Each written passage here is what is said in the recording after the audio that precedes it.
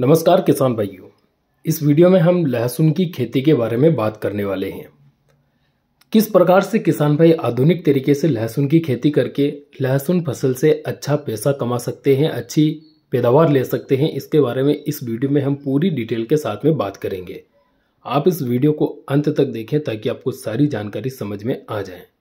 और video start करें, उससे पहले आप हमें फॉलो कर लीजिए। वीडियो अच्छा लगे तो लाइक ज़रूर करें और अधिक से अधिक इस वीडियो को किसान भाइयों तक शेयर करें ताकि सभी किसान भाई इस जानकारी का फ़ायदा उठा सकें। किसान भाइयों, वीडियो में आप देख पा रहे हैं, यहाँ पर लहसुन की खेती करने के लिए बेड बिछाकर उसके ऊपर मल्चिंग बिछाई जा रही है। अब यह एक ऐसा तरीका है जहाँ से आप लहसुन की पैदावार को ज़्यादा ले सकते हैं। अगर आप नॉर्मल तरीके से क्यारियों में लहसुन की खेती करते हैं तो वहाँ पर आप एक बीघे से कम से कम 20 से 22 क्विंटल पैदावार ही ले सकते हैं। लेकिन अगर आप इस तरीके से लहसुन की खेती करते हैं तो आप यहाँ पर निश्चित तौर पर एक बीघे से 25 से 30 क्विंटल बीघा के हिसाब से पैदावार ले सकते हैं। किसान भाइयों, वीडियो में आप देख सकते हैं, यहाँ पर ट्रैक्टर के पीछे एक ऐसा जुगाड़ सेट किया है। यहाँ पर ड्रिप भी इसके साथ में बिछाई जा रही है।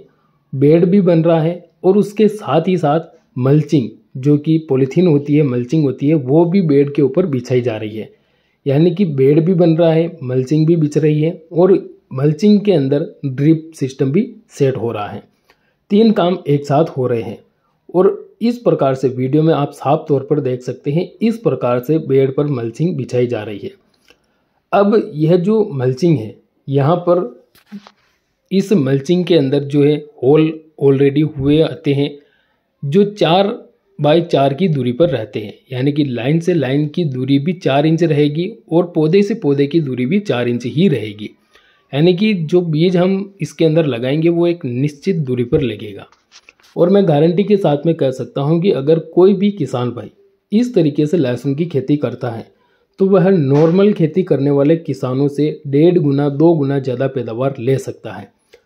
किसान भाइयों इसमें खर्चे की अगर बात करें तो अगर आप एक बीघे में बेड बना रहे हैं, मल्चिंग बिछा रहे हैं तो आपके एक बीघे में कम से कम पंद्रह से सत्रह हज़ार रुपये के बीच में खर्चा आता है।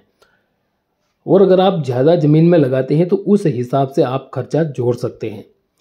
लेकिन यहाँ पर अगर आपके पास पानी की उपलब्धता कम है, अगर पानी ट्यूबवेल में कम है तो ड्रिप में निश्चित पानी गिरेगा, जिससे ज़्यादा पानी की खपत भी नहीं होगी, यानी कि पानी की बचत भी होगी।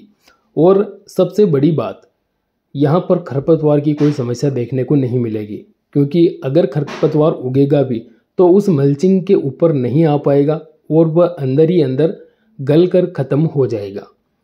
दूसरी बात, पानी की बचत होगी। इसके अलावा, सबसे मुख्य फ़ायदा इसका यह रहेगा कि जब लहसुन पकेगा, यानी कि जब लहसुन का कंद बनेगा तो अन्य लहसुन के मुकाबले इस मल्चिंग में, इस बेड पर बनने वाला लहसुन का कंद आकार में काफ़ी बड़ा बनेगा।